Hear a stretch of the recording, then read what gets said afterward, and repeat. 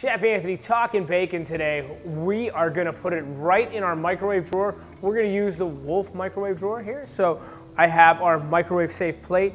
And guys, to put less splatter, we're gonna use the paper towel. So put the paper towel right down.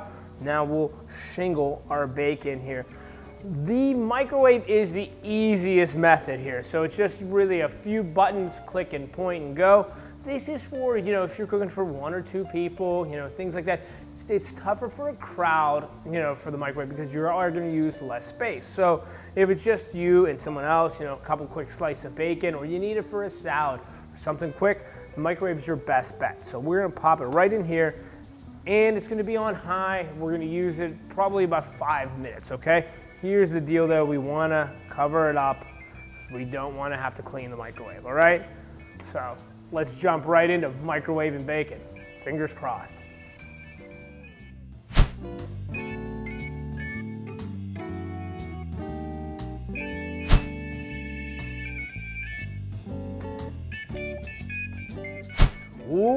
Okay, tale of the tape here. Let's uh, open this bacon up five minutes in the Wolf, in the microwave drawer.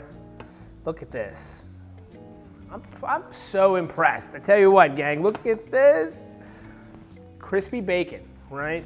No mess, all right? No cleanup because we did it right in the microwave. Look, paper towel has all the grease on it, super dry. This is a winner, man. I am so, uh, I'm astonished, you know, the power of gadgets in microwave, but let's take a,